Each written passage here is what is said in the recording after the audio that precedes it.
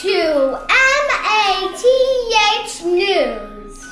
Live in Pullman, Washington. I'm Bliss Beall.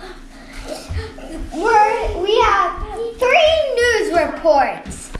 First is adding numbers. Second, the coronavirus things that you can do. Third, weather.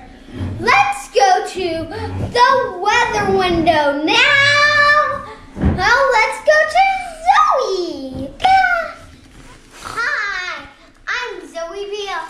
We're going to say the news. Tonight's cloudy and it's going to be sunny for the rest of the day. Tomorrow, the weekends are going to be rainy and children don't cry because there's going to be mud puddles. Thank you to Bliss. So now we're going to adding. So here, here's the things, the thing that I made about adding. First, we're going to start with this side, and there's six ways to make ten. So let's start adding now. Um, oh, the the beans. So, so I'm just going to pour them out. So if I have one bean here and one bean here, and I add them together, it makes two. So then if I have 10 together and I add zero, that makes 10. So if I like have three and then I have seven and I add them together, that also makes ten. ten. And let's do five now. One, two.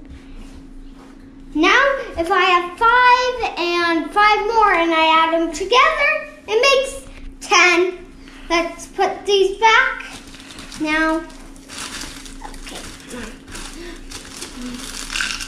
Okay, so now we're going to do coronavirus 19. And you can make a mask and put hand detector on. And if you want to know how to make a mask on, then here you go.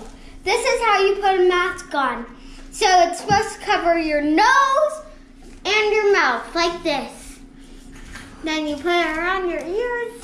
That's how you put a mask on. And good evening. That's how you put a mask on. And